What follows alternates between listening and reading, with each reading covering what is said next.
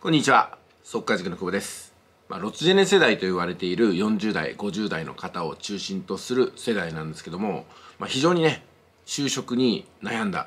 収入が不安定生活がとっても不安だというふうなねことを抱えていらっしゃると思います。え実はね今私が読んでいるこの本の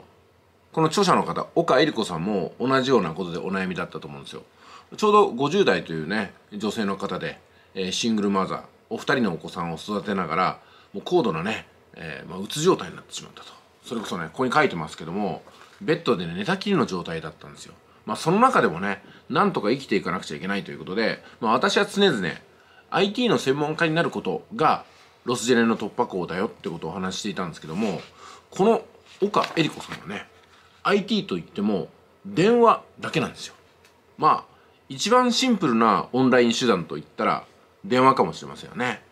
プログラミングをするでもなく YouTube の動画を量産するでもなく Twitter のアカウントをたくさん作ってツイートをたくさん埋め込むでもなく電話一本でベッドの上からでもできる。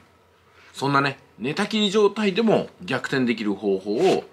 まあ、確立してくださったのがこの岡恵理子さんということで今書籍にもなってるんでね今だいぶ読まれてるわけなんですけどもこう書いてますよ。この本では50歳で人生どん底を味わいお先真っ暗パソコンが苦手で資格もない。ほぼ寝たきり状態の私が誰にでもできることに着目して自宅で仕事を始め短時間でガラリと人生を逆転させた方法について経緯とともに赤裸々に、えー綴っております。ということで読まさせていただいてるんですけどもまさにこの言葉の通りです。例えばねこんな方におすすめですよ。パソコンが苦手だけどもオンラインビジネスに興味がある。オンラインビジネスといってもですね主に使うのは電話ですからね。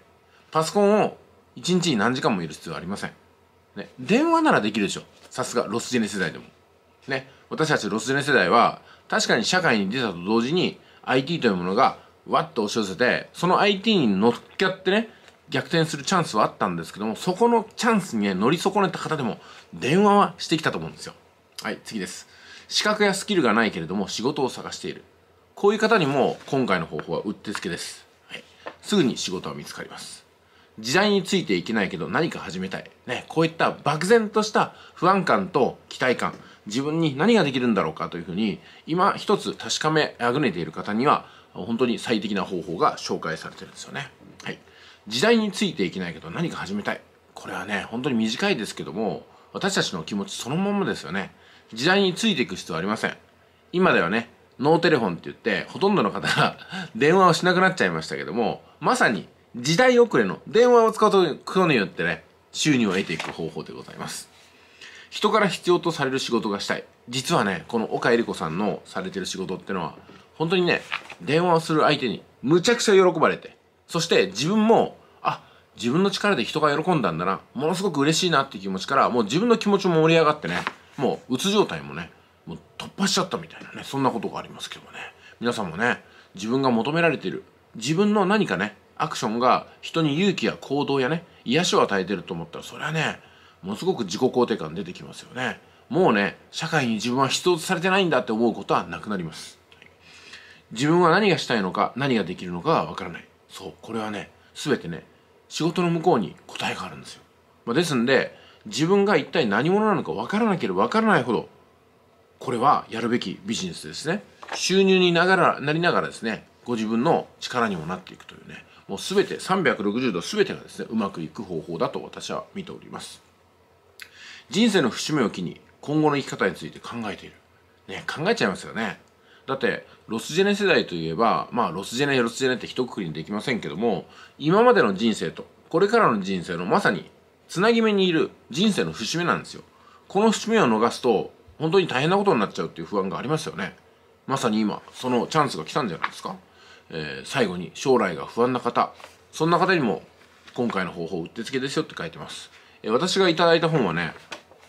550円。ということで非常に読みやすい価格とそれから読みやすい分量になっています。うん。素晴らしいと思いますよ。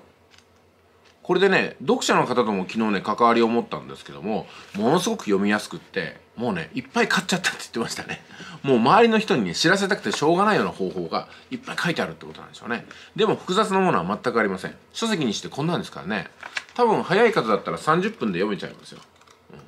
うん、もうぜひねこれ手に取っていただいてあなるほどねと。そんな自分でも大丈夫なんだっていうふうに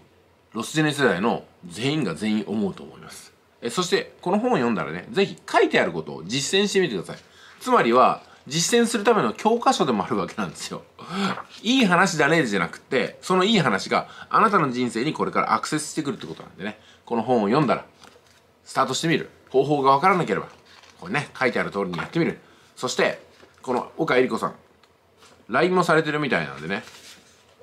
ほらメッセージくださいって書いてますよ。LINE でぜひねつながってみてください。おすすめの一冊でございます。